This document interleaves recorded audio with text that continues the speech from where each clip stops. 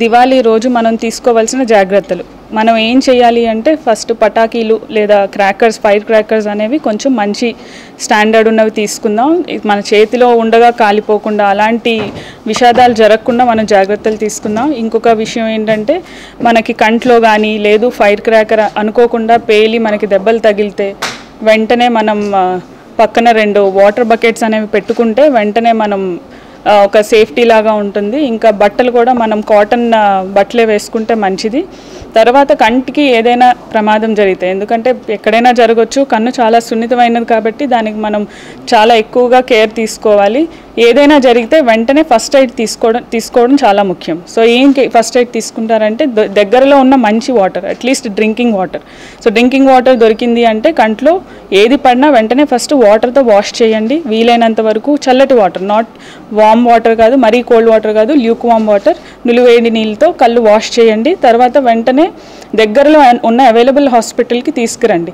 అది మన ఎల్వి ప్రసాద్ లాంటి హాస్పిటల్స్లో twenty four hours emergency services available ఉంటాయి.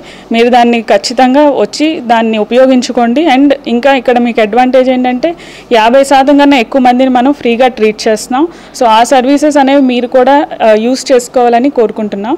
Have a safe and happy Diwali I'm doctor Mukundan Cornea anterior segment consultant at uh, JMRV campus, Vishakhapatnam.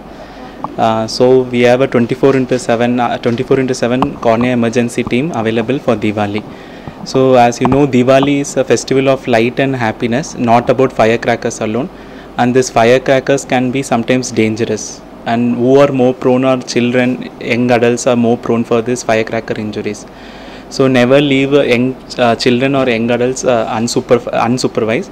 Someone has to be always there along with them. Always wear protective glasses and get firecrackers from standard companies. Uh, keep 20 feet, uh, be some 20 feet away from the firecrackers. And in case of any uh, inadvertent trauma, so don't rub your eyes. Just shield your eyes and visit your local emergency eye hospital immediately. We have 24 into 7 uh, as emergency services. So our emergency contact number is 9346 132020.